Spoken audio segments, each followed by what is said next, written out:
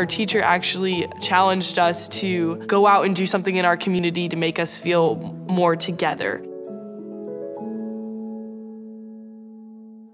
My name is Dani and I'm a junior.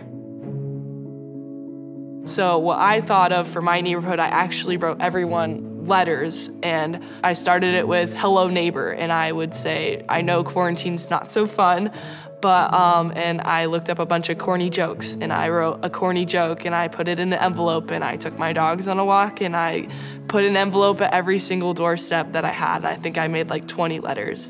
Granted, that's probably not enough for the whole neighborhood, but I just thought it was something for me to do, but it was also something to make me feel like I would want that as an individual as well. So I just thought just maybe that little bright little sunshine, I guess, would make him feel better. So